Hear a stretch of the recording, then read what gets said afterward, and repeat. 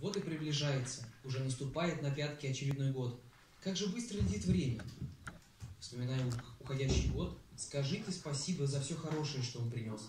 Поблагодарите за уроки мудрости и ни о чем не жалейте.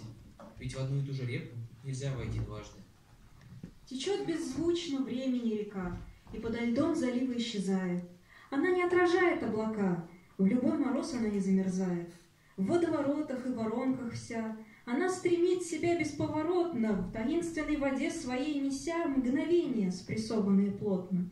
Она в себя вбирает свет и тьму, и тишину, и сказанное слово. Река времен в тумане, как в дыму, ни доброго в ней умысла, ни злого. Она черна, но в этом нет беды, природа не бывает однозначно. Склонись над ней и зачерпни воды, и ты увидишь, что вода прозрачна.